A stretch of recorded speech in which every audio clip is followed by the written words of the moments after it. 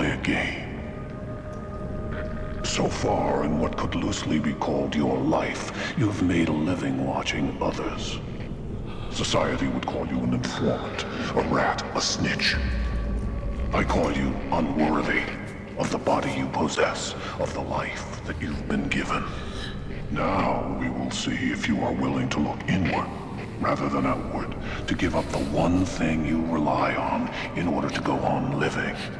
The device around your neck is a death mask. The mask is on a spring timer. If you do not locate the key in time, the mask will close. Think of it like a Venus flytrap.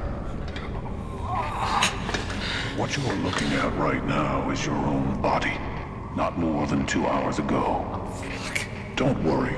You're sound asleep and can't feel a thing.